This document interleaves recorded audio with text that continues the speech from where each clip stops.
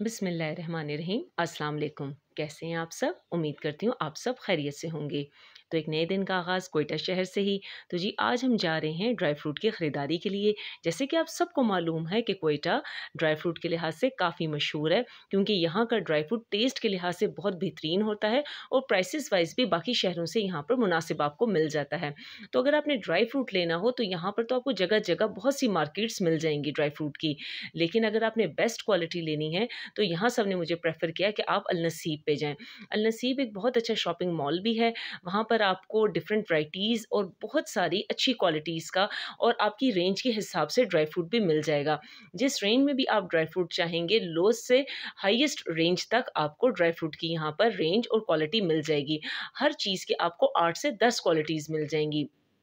तो आज हम आए हैं अल नसीब तो यहाँ आके तो मुझे बहुत अच्छा लगा, बिलखसूस यहाँ का एटमोसफेयर बहुत अच्छा था स्टाफ बहुत कोऑपरेटिव था और बहुत अच्छा था और इनके जो है तीन फ्लोर थे, एक बेसमेंट था, एक इनका ग्राउंड था और फ़र्स्ट फ्लोर था। ग्राउंड के ऊपर सारा जो है इन्होंने अपना ड्राई फ्रूट्स रखा हुआ था और माशाल्लाह बहुत ज़्यादा रेंज अच्छी रेंज थी इनकी ड्राई फ्रूट्स की। क्वालिटी वाइज भी बहुत अच्छा था, जैसे कि सबने मुझे बताया हुआ था। वरना आपको कोयटा में आप किसी मार्केट में जाओ स्पेशली इनकी ड्राई फ्रूट मार्केट भी है, वहाँ भी जाएँ तो आपको सब कुछ, हर अच्छी चीज़ मिल जाएगी।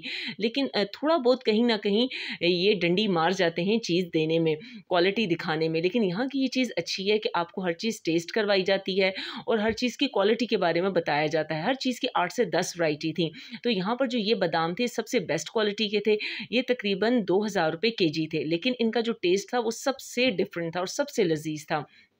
खजूरें इनके पास इतनी मज़ेदार और शानदार थी कि मुझे यहाँ पर आके मदीना की खजूर मार्केट याद आ गई कि खजूरें भी आपको हर तरह की क्वालिटी की, आपकी रेंज वाइज आपको मिल जाएँगी।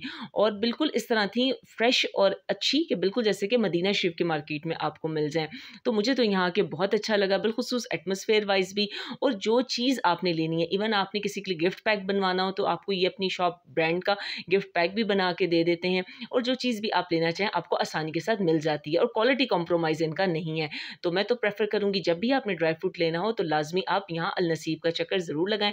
ये कोयटा के तोला राम रोड पर वाक़ है और बहुत ही फ़ेमस है। किसी से भी आप कहेंगे तो वो आपको ले जाएँगे। तो यहाँ पर जो है ये अखरोट की क्वालिटी हमें बता रहे थे।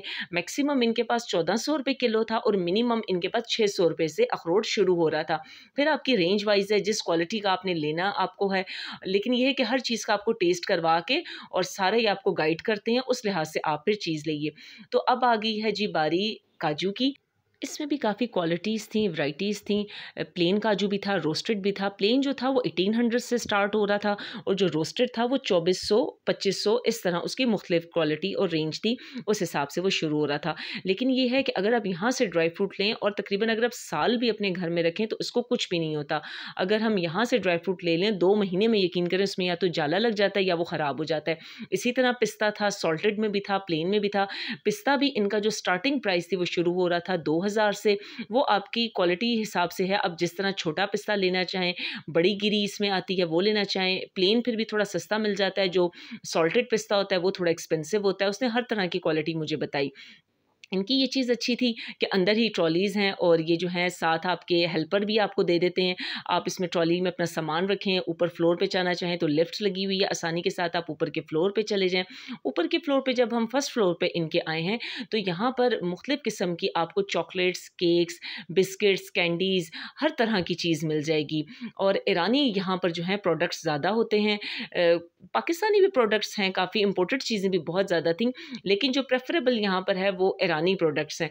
उनकी कैंडीज़ बहुत टेस्टी होती हैं, उनकी चॉकलेट्स हो गई उनके स्पेशली केक्स टी केक्स जो होते हैं प्लेन केक्स जो होते हैं पैकिंग में, वो भी बहुत लजीज होते हैं। जेलीज़ थी जेलीज़ में भी डिफरेंट वराइटी थी क्वालिटी बहुत अच्छी थी। बस जिस तरह आप लेना चाहिए कुछ कुछ गिफ्ट पैक्स भी इन्होंने बना के रखे हुए थे कि आप अगर किसी के लिए गिफ्ट पैक्स यहाँ से लेना चाहें गिफ्ट पैक्स में अगर आप लेंगे तो वो थोड़ा सा महँगी चीज़ पड़ जाती है। अगर आप खुद से कोई खुली चीज़ लेके इनसे पैक करवा लें तो वो आपको थोड़ा मुनासिब पड़ जाता है। ये है जी गज़ ये मीठी कैंडी होती है, इनकी इसमें पिस्ता फिलिंग होती है वो बहुत लजीज और मज़ेदार होती है। ये आगे इनकी सारी जी, चॉकलेट्स, कैंडीज़, यहाँ आके तो आप पागल ही हो जाएँ कि हम क्या चीज़ छोड़ें और क्या चीज़ लें। लेकिन ये है कि कोयटा आप जब भी हैं तो ठीक ठाक आप अपने पास अमाउंट लेके आएँ, क्योंकि हमें नहीं आइडिया होता कि यहाँ कि आपको क्या क्या चीज़ अच्छी लगेगी, लेकिन यहाँ बेतहाशा चीज़ें अच्छी हैं और दिल करता है कि आप कुछ ना कुछ अपने प्यारों के लिए लेके जाएँ। तो यह आ गई जी चॉकलेट जिससे मेरी मानो कहती हैं, जी मम्मा, चॉकलेट पत्थर स्टोन जो चॉकलेट के होते हैं, ये मेरी मानो को बहुत पसंद है। तो बहुत देखिए यहाँ पर उन्होंने पैक करके पाओ के हिसाब से लेके एक के तक इन्होंने पैकिंग बना के रखी हुई है। और एक कॉर्नर इन्होंने गिफ्ट आइटम्स का रखा हुआ है। उसमें बर्थडे पार्टीज़ के लिए कस्टमाइज़ आपने कोई केक आप केक कह रही हूँ सॉरी कस्टमाइज़ आपने अपने लिए कोई बास्केट बनानी हो, उसके लिए बर्थडेज़ इवन शादी के लिए मेहंदी, बारात या इंगेजमेंट फ़ंक्शन के लिए हर लिहाज से इन्होंने हर चीज़ यहाँ पर रखी मतलब एक छत के नीचे आपको हर चीज़ आसानी के साथ मिल जाएगी। ये सामने मेन मार्केट है, मैं फ़र्स्ट फ्लोर पर हूँ। यहाँ पर भी बेशुमार ड्राई फ्रूट्स की शॉप है। मैंने उनमें भी विज़िट किया, लेकिन वो क्वालिटी मुझे नहीं मिली जो कि यहाँ आके मिली। और सबसे बिलखसूस, यहाँ एटमोसफेयर बहुत अच्छा था। ईजिली आप फ्रीली आप शॉपिंग करें, कोई टेंशन परेशानी वाली बात नहीं है। तो मुझे तो यहाँ आके बहुत अच्छा लगा। तो उम्मीद करती हूँ कि आपको मेरे साथ विज़िट करके मज़ा आया होगा। तो बहुत मज़ेदार सी चीज़ें थी डिफरेंट यूनिक आइटम्स थे। बास्केट्स बिलखसूस इनकी बहुत खूबसूरत थी। सारी शॉपिंग के बाद इनका जो है हर फ्लोर पर कैश काउंटर है। आप जो है कार्ड से पेमेंट कर सकते हैं कैश पेमेंट भी कर सकते हैं। तो किसी किस्म की कोई टेंशन की बात नहीं। नीचे फ्लोर पर इन्होंने अपना सिटिंग एरिया भी बनाया हुआ है कि आप कोई भी ड्रिंक्स जूसेस भी ले सकते हैं। तो उम्मीद करती हूँ आपको मेरा आज का भी छोटा सा ब्लॉग बहुत पसंद आया होगा तो मेरे चैनल को सब्सक्राइब ज़रूर कीजिएगा।